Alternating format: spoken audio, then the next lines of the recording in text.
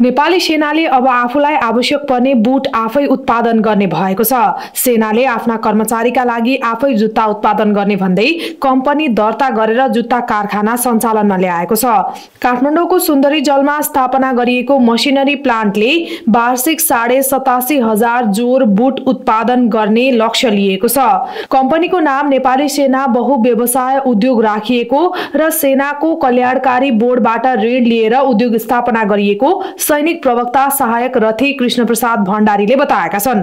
नेपाली सेनाको पहिरन तथा बन्दोबस्तीका सामग्रीहरू उत्पादन क्षमता अभिवृद्धि गर्ने लक्ष्य अनुरूप जुत्ता कारखाना स्थापना गरिएको बताउँदै प्रवक्ता भण्डारीले नाफा वितरण नगर्ने उद्देश्यले उद्योग स्थापना भएको बताएका छन्। उनले यसले उत्पादन गरेको जुत्ता बजारमा बिक्री नहुने र आन्तरिक खपतका लागि मात्रै प्रयोग हुने बताएका छन्। सेनाको जुत्ता कारखाना स्वाट कम्पनीको ट्रेडमार्क रहेको ओरि ओरिजिनल फुटवेयर कम्पनीसँगको प्राविधिक सहकार्यमा स्थापना गरिएको छ।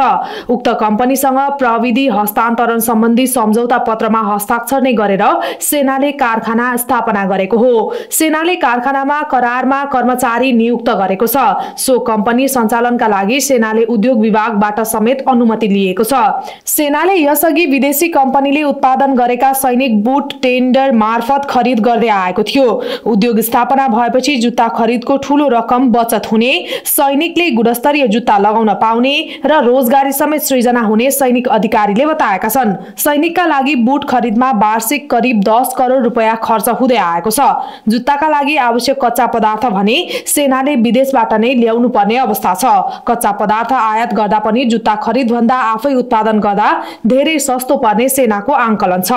बुट मात्र नभई उद्योगमा सेनालाई आवश्यक अन्य जुत्ताहरू पनि उत्पादन गर्ने सेनाको तयारी छ। नेपाली नेपाली सेना विगतमा कतिपय ठेक्का र व्यापारिक गतिविधिका कारण विवादमा पर्दै आएको छ। सेना नेपाल प्रहरी तथा सशस्त्र प्रहरीले पेट्रोल पम्प विद्यालय तथा कलेज सञ्चालन गर्दै आएका छन्।